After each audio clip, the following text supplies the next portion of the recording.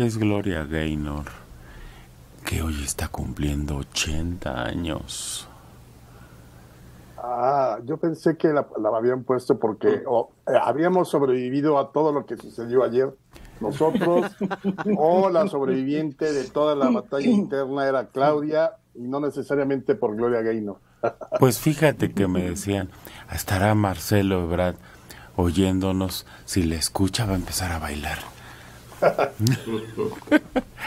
a lo mejor en su cuarto de hotel, porque estaba en un cuarto de hotel frente, ¿no? De donde se estaba realizando toda esta... Estaba con la bilis derramada. Pero pues si ustedes lo, se lo dijeron desde ayer, que no los escucha. No. Yo creo que no escuchó a nadie. ¿Qué esperaba? Porque hoy el fisgón, creo que es el fisgón, lo dibuja muy bien. Hay un error en las encuestas. ¿Cuál es el error? No gané. estaba, estaba muy claro. Y fue Ustedes lo dijeron. Sí. Qué lástima que no me agarraron la apuesta, pero no fue una, sino todas indicaban que él no ganaba. Pero todo, o sea, no, no solamente fueron las encuestas, eh, eh, el favoritismo del presidente desde hacía mucho tiempo por Claudia, a ella le alzó varias veces la mano a lo largo, no, y no en campaña, en, actos donde se reunían por la Ciudad de México, alguna cosa, o sea, se veía que las preferencias iban para allá. A mí lo que me sorprende es que hubo a lo largo de este proceso gente que decía que el presidente de último momento se iba a sacar de la manga a Dan Augusto. Yo creo que él es el gran perdedor. Dejó la gubernatura de Tabasco, dejó la Secretaría de Gobernación y ahora regresa a llorar su derrota. Ayer se veía muy serio él, que de por sí no tiene como el rostro de la alegría contagiosa. y el otro que también se veía muy serio, o sea, cumpliendo era Monreal. Porque Noroña, después de pues, el repunte, yo creo que nunca va a estar más cerca de la presidencia como ayer eh, en términos de la posibilidad de haber sido candidato. Él se ve que se arregló muy bien con Morena y está contento y estaba sonriente. Creo que le quitó el tercer lugar a Dan Augusto. Es que... Y no se diga eh, el, del, el del, verde, este... Eh, Manuel, Velasco. Velasco, que él también ha dicho, a mí, gane quien gane, mi partido acá hay lanita para nosotros, hay cargos para nosotros, hay diputaciones para nosotros viva la 4T. Pero Marcelo, yo no sé qué traía en la cabeza o realmente qué pensó, o esto es solamente una estrategia de hago mi berrinche y, porque estaba cantadísimo, no había manera de que Marcelo fuera. Pero tiene que seguir, dar esa actitud.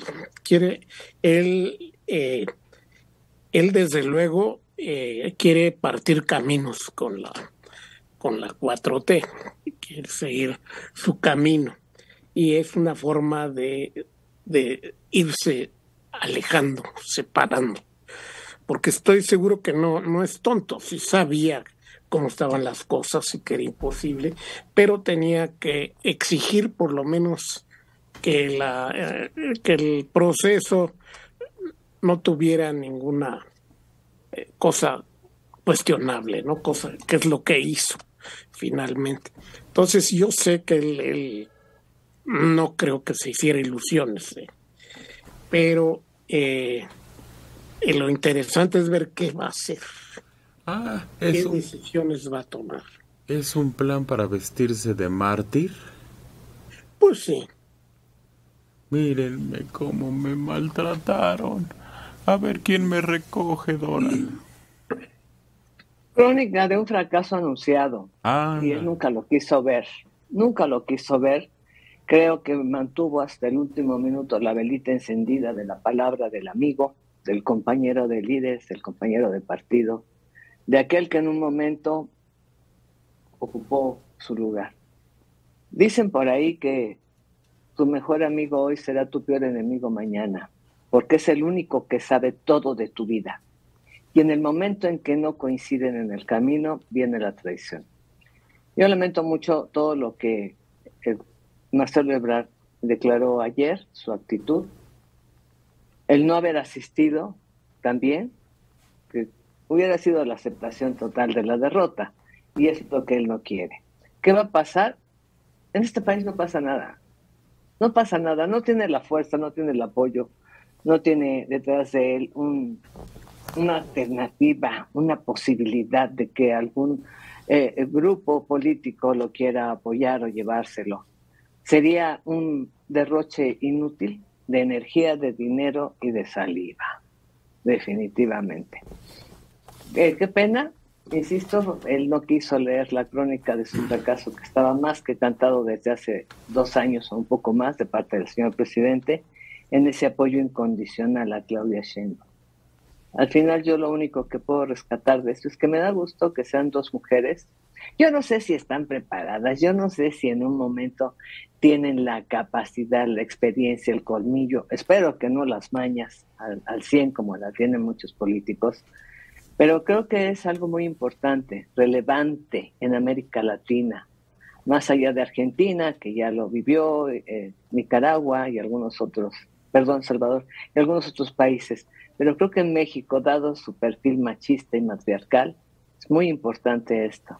Hoy por lo pronto hay dos mujeres y vamos a esperar cuántos hombres más se suman a esto. Fíjate que... Pero todos eran sus amigos, no solo el que le cedió el lugar a Obrador y le había prometido la próxima vas tú, sino el jefe del partido trabajaba para él, con él arrancó. Sí. Decía hoy alguien, me decía, el peor enemigo tiene máscara de amigo Agustín. Y, y, la y la política es exactamente eso, ¿no? El intercambio de máscaras. En la política no hay amistades, se sabe. Ah. Creer, creer en la palabra de un supuesto amigo político que ya te demostró, quítate tú para ponerme yo, como dice el son de Final Star, ya se lo había señalado.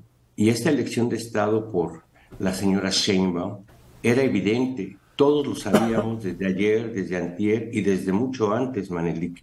El único que yo creo que también lo sabía, pero tuvo que jugar las contras hasta ya no soportar más, fue Ebrard. Ebrard lo sabía. Ebrard es inteligente. Ebrard sabía que no podía seguir el asunto de Camacho Solís de hace unos años y todo eso. No, Ebrard jugó hasta las últimas consecuencias, pero sabe que ya no hay más punto final para el sentido de la carrera política del señor Marcelo Ebrard. ¿Quién sabe? ¿Quién sabe? Porque ahorita que estás hablando de Camacho Solís, él mismo, acuérdense, hizo un berrinche, chilló, pataleó y le dijeron, váyase a Chiapas. Bueno, mm. está bien. Levantó su berrinche y se fue, como si nada. Entonces, ¿tendrá vida después de esto, Alejandro? Ah, no, bueno, si algo nos demuestra la historia es que aquí los políticos nunca mueren hasta que eh, realmente entregan la vida a nuestro creador. A Adela le parecía mucho mejor político que cualquiera otro. Lo dijo aquí. A mí me parece que él, por la visión que tenía eh, del mundo y, por haberse formado en, el neoliberalismo, a mí me parecía que tenía un perfil mucho menos eh, eh, pueblerino del que tiene la 4T. O sea, realmente una visión global de lo que necesita México, incorporarse al mundo, regresar a, lo que era, o sea, toda esta visión. Yo creo que por eso también se alejó, lo alejaron de, de la 4T o sea, la 4T es totalmente anti-neoliberal. Eh, Como quiera que sea, Marcelo nunca fue de origen de la 4T. Venía de haber militado en el PRI junto con este Camacho Solís, luego pasaron eh, a Movimiento Ciudadano en algún momento, luego ya se metió a la 4T, pero él siempre tenía esta visión global que no le caía muy bien al presidente. Yo creo que por eso tampoco le dio mucho juego o le aplaudió muchas de las cosas, porque ¿quién le hizo el, el, trabajo pesado al presidente. Hizo de todo. Marcelo era el mil usos de la política mexicana durante este sexenio.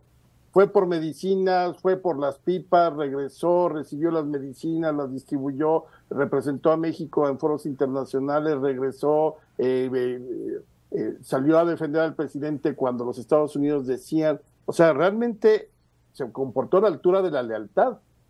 Pero yo no sé si con toda su experiencia, él pensaba que eso le iba a garantizar la presidencia. A mí me, si no tiene un super plan increíble para su futuro inmediato, me desconcierta mucho incluso su show de ayer. Porque, ok, hasta la encuesta, la encuesta, la casa encuestadora que él eligió, hasta en esa ganó Claudia. O sea, realmente no hubo mano negra en las encuestas como lo vimos en la encuesta, por ejemplo, para el aeropuerto u otras que han hecho. Aquí, bien que mal, todas fueron coherentes o, fueron congruentes con lo que con las tendencias.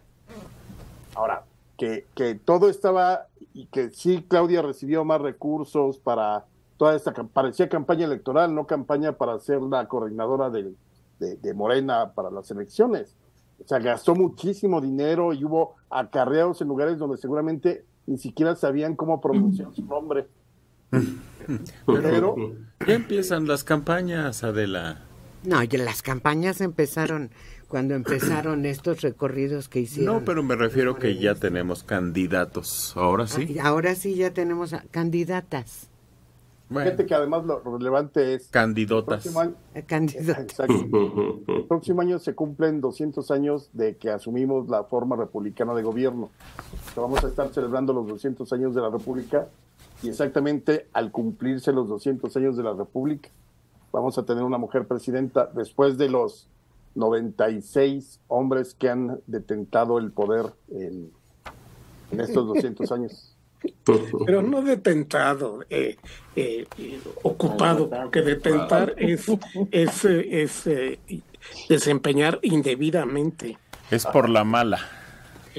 Marcelo Ebrard fue traicionado ya en varias ocasiones por López Obrador y él debió de haber entendido que ese era el juego.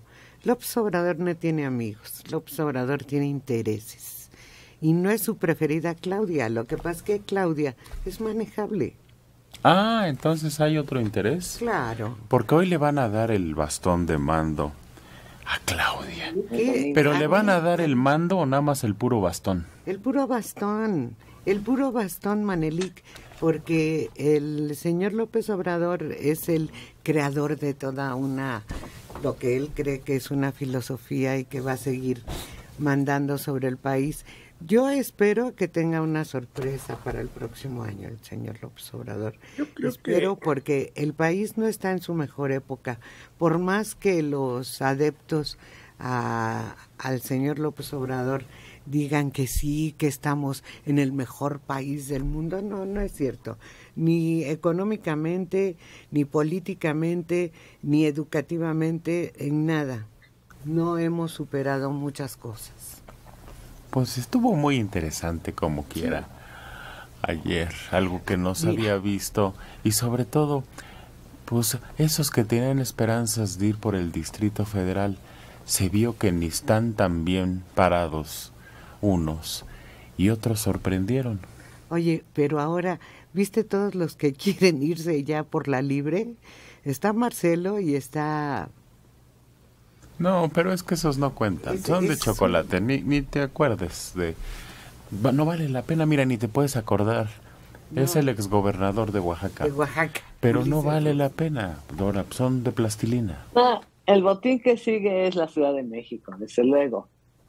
¿Por qué? Porque va a entrar con la nueva presidenta y porque puede hacer historia a la par. Y después, si anteriormente era el secretario de Gobernación el que se apuntaba para la presidencia, con este cambio tan drástico, ahora el botín es la Ciudad de México. Me sorprendió que, por Dios santo, socorro, auxilio, Bautemo Blanco está pensando en ir a, a la Ciudad de México para lanzarse como aspirante a la, a la Ciudad de México.